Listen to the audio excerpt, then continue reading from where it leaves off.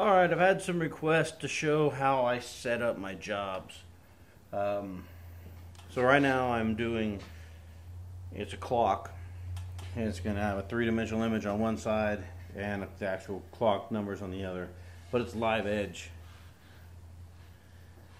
If you can see that. So it's real hard to square it up. Well, it's not hard, but it's it's a lot of times what I'll do is I'll just square the edge of the material up with the edges of the table and then that gives me a straight line. Watch. So I put my material down and if you see the groove in this table I just would square it up and clamp it down. But with this particular project being live edges you can kind of see the waviness of it. It'll be close, but when you're dealing with thousandths of an inch, close isn't good enough. And being that I'm going to flip this over that way, that way, and do a pocket toolpath on the back for the movement of the clock, it needs to be pretty much perfect. So what I've done is I've scribe this pencil line on here. Actually, yeah, I'm sorry. I did that, but then I realized I put the pencil line on crooked. So I just marked 5 eighths of an inch from each side. And what that is, is this whole board is basically 11 and a quarter inches wide. And I need 10 inches for the material space for what I set up for my uh, material dimensions. So I just basically split the difference and called it a 5 eighths of an inch. I minus 5 eighths of an inch off the top, and then I, you know, that'll give me a straight line. So I marked it on the side. So now what I'm doing is I will just, if you got enough light in here, I don't know if you can see this, I'm going to line this line up with the edge of that material, just like that. I'm going to do the same thing on the other side, and I'm going to clamp it down. And then it'll be time to set the home position.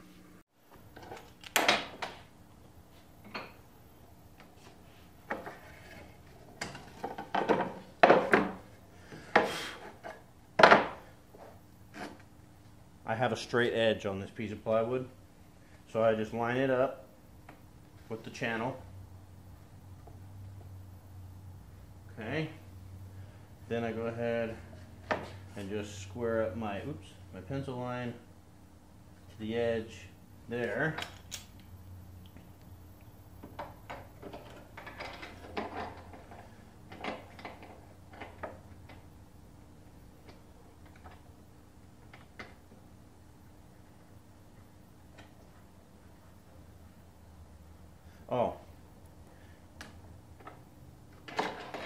This is redwood that I milled myself. Watch. I forgot to show you something. Now, I don't know if you can see that. It's cupped. This is, um, I milled this piece of redwood myself, this slab. And if you can tell,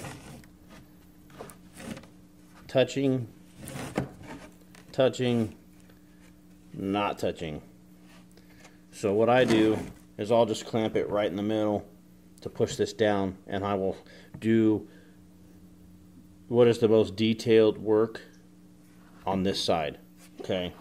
Um, see, and this is why, because if you're setting it to your material surface here, which is where my home position is going to be, right above this line, this is lower than this.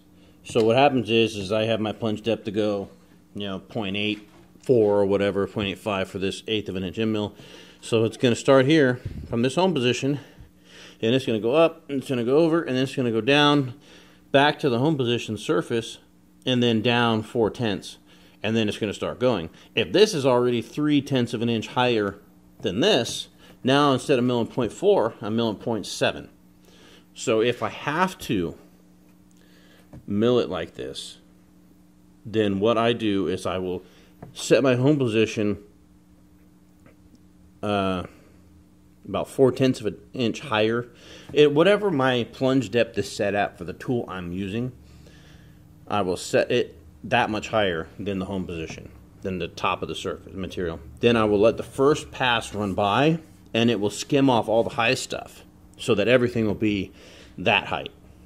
Then I'll go back to my home position, I will reset it to the material surface, and then I will go again. And then that way, when you get to the middle, you don't have all the extra wear and tear from all the extra thickness of uh, material thickness. I hope I'm explaining that right, but I think you can catch the gist. So that's how I deal with cupped wood uh, when I'm setting my home position.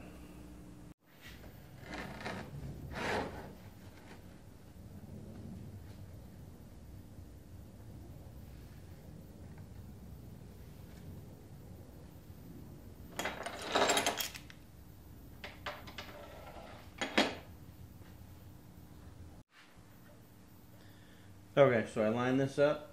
I line this line up with the edge of that board. I tighten this down because the numbers from my clock are going to be right around here.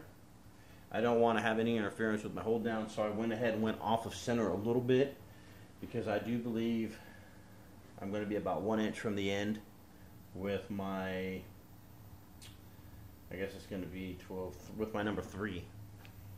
So let's go tighten up the other side.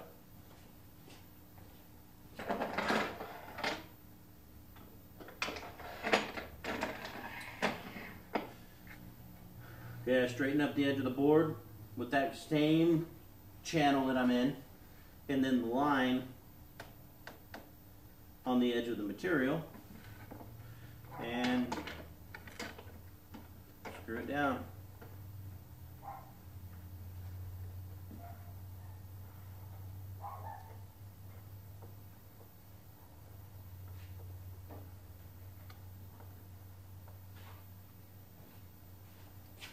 Give it a pull. Make sure it's not going to shift. Oops. Now, what I do to check is I will, here, you know what? Okay, so now what I'm going to do, if I'm ever in doubt that I'm on a perfectly straight line, I will move this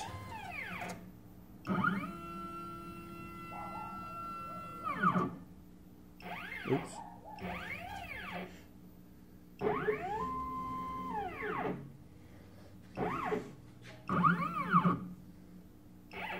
Oops.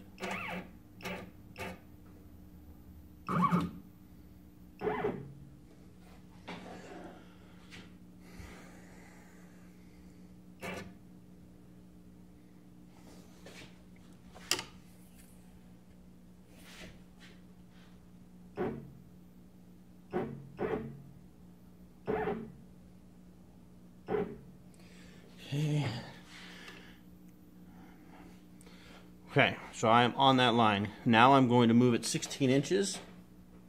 Oh, actually, I'll set my home position. And I'm going to go up just a touch. And I'm going to go away 16 inches.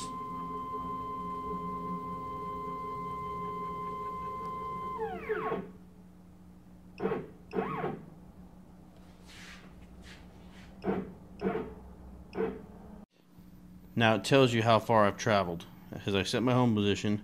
So I started by moving up, not quite a tenth, you know, uh, eighth of or uh, like a half of a tenth, I don't know, whatever you call it, five hundredths, and then I moved down 16 inches. So let's show you what it looks like on the other end. If you have your material lined up right, you should be on your mark at the end of the end of the table. Now, as you can see, I am just a little tiny bit off.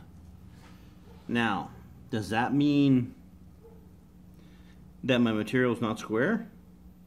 Or does that just mean my mark's just a little bit off? Maybe because of the thickness of the pencil lead or the way I had the straight edge on there when I made the line. Um, because I know I have more than enough room, I'm going to leave it but if you knew you were working with a 100% perfectly square piece, I'm trying to show you, I hope you can see this. Let's see if I can get closer. I was saying, if you knew you were working with a 100% square piece, then I would know right here that I'm off. And if my piece of material was exactly the dimensions I put into my machine when I made the design, in this case 16 on the Y, 10 on the X, then I would know that once I get to this side, I'm going to be a 16th of an inch or so off on everything. But because I think it's just, I suspect that it's just the way I drew the line, I'm going to go ahead and leave it. And I think we're going to be just fine.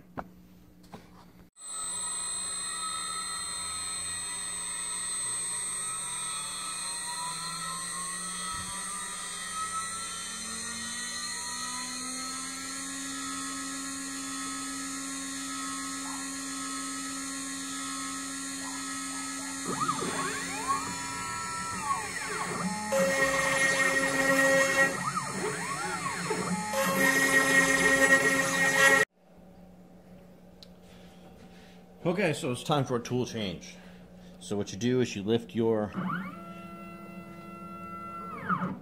um, your spindle up, change your tool, then you just simply lower it back down to the material surface.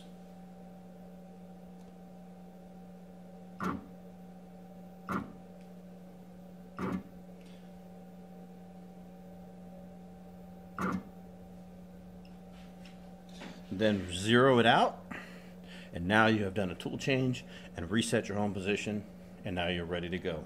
Let's fire this sucker up.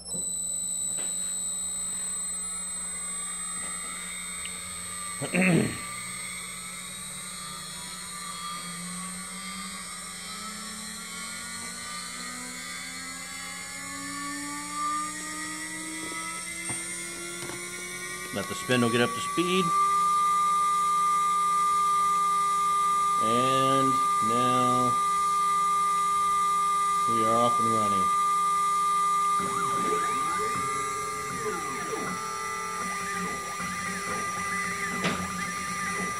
And that's all there is to a tool change, uh, resetting your home position, and rocking and rolling. I hope you enjoyed the video. Thumb it up if you did. Hit that subscribe button, please. If you have any questions or comments, um, throw them in the box down there, and I'll get to you if I can, which I generally make a point to get to everybody who comments. Sometimes it takes me a little while because I do work and I got stuff going on, but I will respond. So uh, thanks for watching, and have a great day. Till the next video, I'm out.